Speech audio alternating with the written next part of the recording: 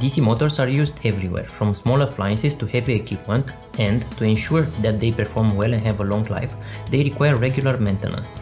The only issue is that traditional approach to maintenance can be time consuming, costly and unreliable and therefore there's a growing need for a more efficient and reliable way to keep these motors running smoothly. Our proposed solution is to use a current sensor and machine learning models to collect data about the energy usage patterns of a DC motor over time. By analyzing this data for anomalies, operators can be alerted of potential issues and intervene in case anything that might damage the motor is happening reducing downtime and maintenance costs.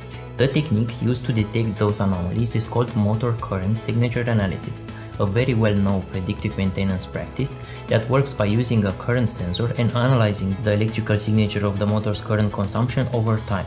While this approach is somewhat resource intensive, the Arduino Opta is powered by a dual Cortex MCU that enables it to easily run machine learning models on the edge. It's not only the raw processing power that makes the Opta a great fit for industrial predictive maintenance applications.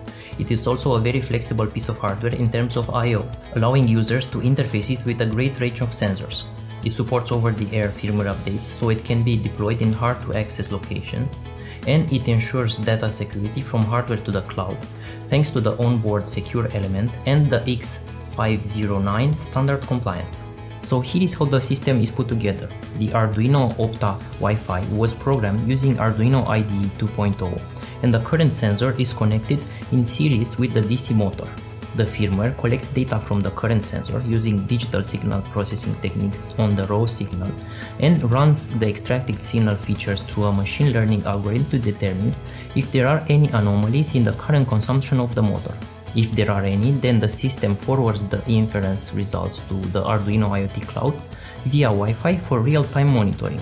To conclude, the Arduino Opta Wi-Fi provides a flexible and reliable solution for monitoring the energy consumption of DC motors and detecting anomalies during normal operation.